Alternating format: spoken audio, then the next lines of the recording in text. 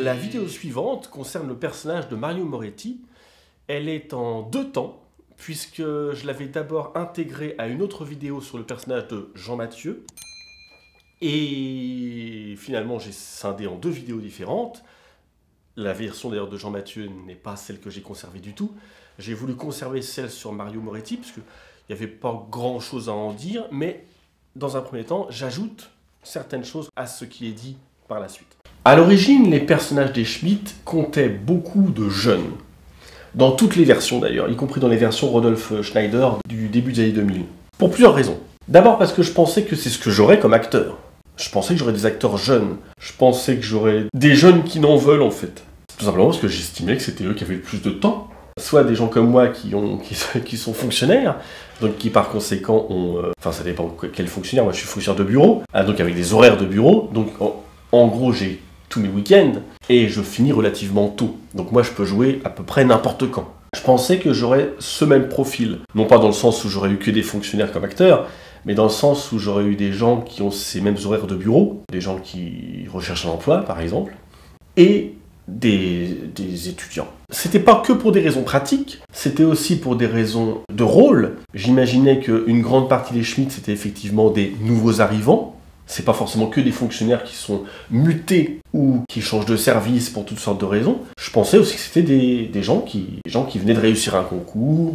Je pensais surtout concours à l'époque. Le fait que l'administration embauche hors concours, c'est relativement récent. C'était récent par rapport aux premières versions des Schmitt, tout du moins. De tous les personnages qui sont finalement restés, Mario est le jeune.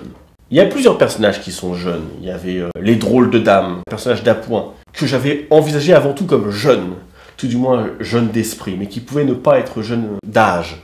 Il y a le personnage de Roxane Lacassante, qui est censé être relativement jeune, mais qui a déjà une grande maturité. Le personnage de Galabar était censé être jeune à la base, beaucoup plus jeune, ce qui expliquait un grand côté d'insouciance. Au final, le personnage qui correspond au jeune, c'est Mario Moretti. C'est important c'est pas le plus important de la série, mais c'est important d'avoir un personnage jeune parce que c'est classique. C'est celui qui a un processus de maturation. Faudrait que j'explique un petit peu dans, l'intérêt dramatique des choses. Je le fais quand même, je le fais brièvement. Qu'est-ce qui vaut le coup d'être raconté en tant que drame? Les histoires qui, de mon point de vue, valent le plus d'être racontées sont les histoires de maturation ou les histoires d'adaptation. La maturation, c'est-à-dire un personnage qui sait pas, puis à la fin, à la fin il sait. Ou d'adaptation, c'est un personnage qui sait des choses, mais qui a jamais été confronté à un environnement précis. L'adaptation, c'est le personnage de Bobby. Bobby, il a des compétences, mais il va devoir s'adapter face à son bureau. Pour la première saison, il s'adapte à des bras cassés. La plupart des personnages s'adaptent, ils ont déjà des compétences, ils ont déjà certaines lucidités, mais il faut qu'ils s'adaptent, parce qu'ils s'adaptent aux autres ils s'adaptent à ce qu'ils doivent, à ce qu'ils comprennent de leur mission en tant que Schmitt, etc.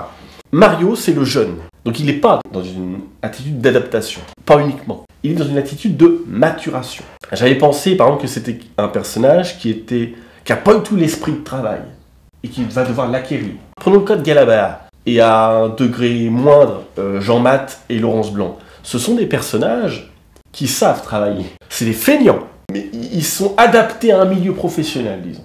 Il y a des fonctionnaires qui sont parfaitement feignants, qui sont bien adaptés, ils savent comment naviguer. Mario doit apprendre. Mario doit apprendre à respecter les horaires. Dans son enfance, pour des raisons familiales, famille de Siciliens un peu, un peu cliché euh, dans, son côté, euh, dans son côté euh, criminel, hein, non pas que les Siciliens soient tous criminels, mais là c'était un cliché bien sûr, c'était fait exprès. Il avait une famille mafieuse. Et j'aurais bien vu dans un des épisodes voir euh, l'acteur jouer son propre grand-père, le propre grand-père de son personnage. Soit avec une voix comme ça Soit avec une voix comme ça Mon petit, tu es entré dans la police maintenant Tu peux aider ton vieux grand-père Un truc comme ça. C'était cliché, c'était volontaire. Et donc Mario, jeune, a eu quelques démêlés avec la justice. Rien d'extraordinaire, rien de... aucune grosse délinquance, si vous voulez, rien de l'ordre euh, de sa famille. Mais par conséquent, il faut qu'il apprenne. Dans les premiers épisodes, il a une arme. Il gère ça comme son nouveau jouet. Il aurait appris à s'en servir correctement. Moins de fioritures, moins de jeux, un peu plus de sécurité. Outre sa famille, il aurait eu un rapport particulier, majoritairement comique, avec la plupart des personnages féminins. Dès qu'un personnage féminin est célibataire et influençable, il aurait, tenté sa chance, c'est beaucoup dire, mais il aurait fait le mariole, comme j'aurais tendance à le dire. Alors, donc pas le personnage de Laurence Blanc, parce qu'elle est déjà mariée, il peut respecter ça. C'est familial, on respecte les femmes mariées. Euh, ah, ils le disent dans le film Casino d'ailleurs. Et j'aime beaucoup ce film, pour plein de raisons. Beaucoup de leçons à tirer de ce film.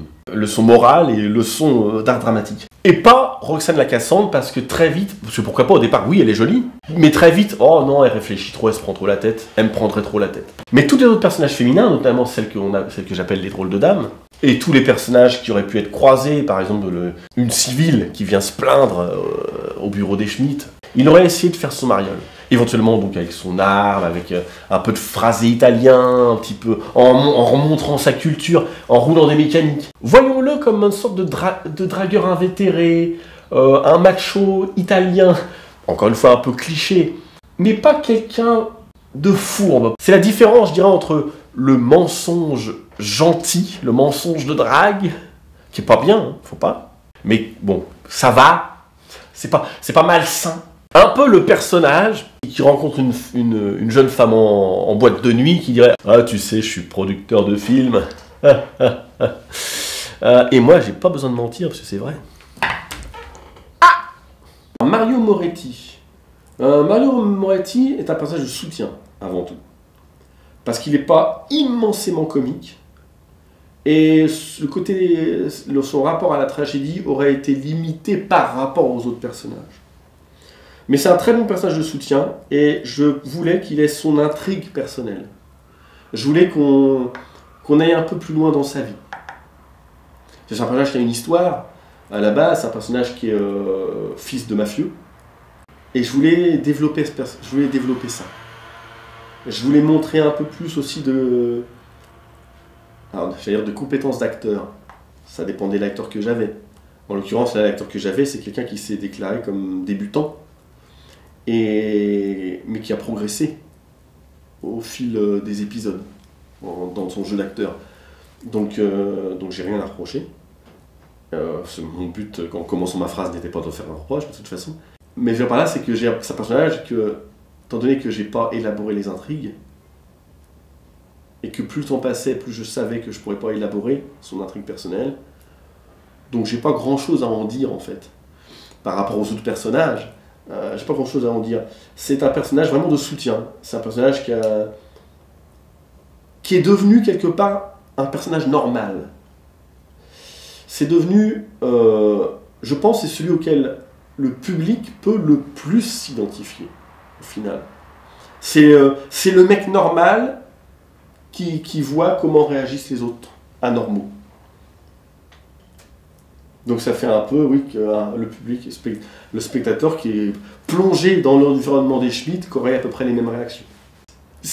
Toutes ces choses-là, ce serait vu notamment plus si j'avais pu élaborer beaucoup plus la série. Il y a des épisodes qui sont un peu perdus. Euh, parce que leur intérêt est limité par rapport à d'autres. Il y a des dans les Schmitt, il y a des épisodes qui sont moyens, il y a des épisodes qui sont mauvais. Les Schmitt, c'est un projet avec une mentalité professionnel, mais avec des, moyens amateurs. Certains des acteurs se sont s'étant comportés de manière amateur. Sans, que ça soit un blâme ou une insulte ou quoi que ce soit. Hein. Euh, il, y a certains, il y a certains, c'est plus compréhensible que d'autres. Il y a des gens qui disent je suis amateur, j'ai envie d'être amateur, ok. Il y a des gens qui disent je suis professionnel, j'ai envie d'être professionnel. Ce niveau-là me gêne un peu plus. Ensuite, pour les personnages, pour les personnages vraiment des Schmitt, importants dans les Schmitt, et que j'ai pu jouer, parce qu'il y en a d'autres qui étaient prévus qui n'ont pas pu jouer, euh, que j'ai pas, pas trouvé personne pour les jouer. J'ai pas eu le temps d'élaborer l'écriture des, des, épisodes pour les jouer non plus. Il y a toutes sortes de considérations, euh, le temps, les finances, etc. Euh, au final, par rapport à l'ambiance et aux finances, ça s'est arrêté au bon moment. On avait fait 15 épisodes. Il y a eu euh, quelques bonus et bandes annonces. Ça s'est arrêté au bon moment.